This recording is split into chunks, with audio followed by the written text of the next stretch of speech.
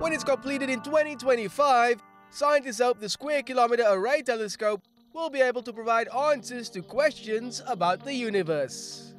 Well, it brings us one of the, the three premier instruments uh, in, in, physics and astronomy in the world. I mean, the others being ITER, uh, located in, in France, and CERN in Switzerland.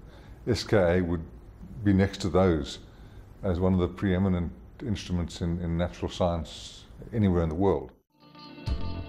By surveying the sky 10,000 times faster, the project represents the future of radio astronomy.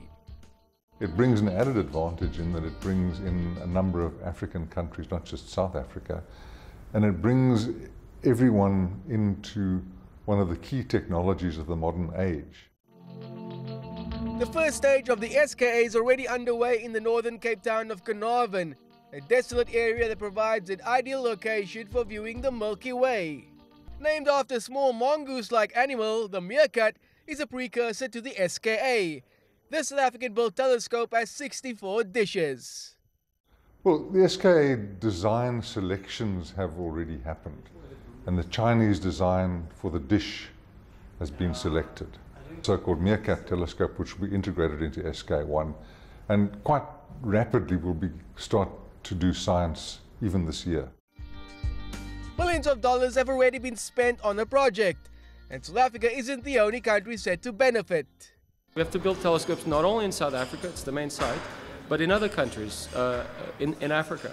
And so we have to develop the capacity in those countries to have radio astronomy, radio astronomers, and so on. And that's happening right now through the so called AVN project, African VLBI Network.